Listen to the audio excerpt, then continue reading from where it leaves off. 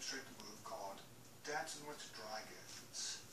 I'm going to start off in a left walking stance, left hand at the base of the step, pulled in tight to the body, right hand into halfway point. I've just swung out.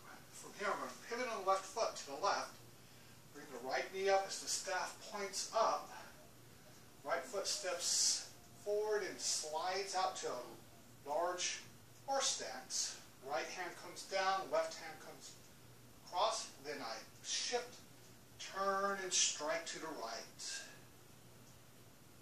Basically lined up with my right foot. Now when I do that pivot motion, on a really good day, I'll immediately come up to this stance, and then I'll step out and slide down, sinking into this foot as low as comfortable for me. And that will change each day.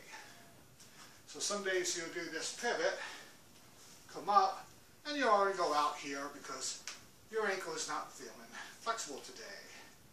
The hands, come up, the right hand is going to come down, the left hand is going to open, I'm going to cross my hands. And when I swing, this hand is going to pull in towards my ribs as the right hand pushes out. And I'm just going to let it hook into the groove between the thumb and the pointed finger. We do that again from a side view.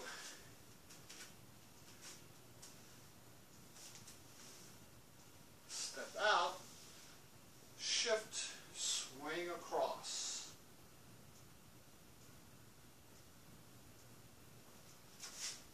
Now it's also important when I'm going down that I stay upright. The tennis you want to be leaned forward to get lower. You want to get lower by bending the legs, but keeping the body upright.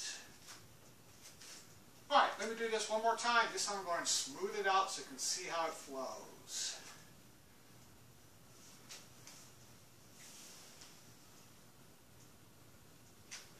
And that is the move Dancing with Dragons.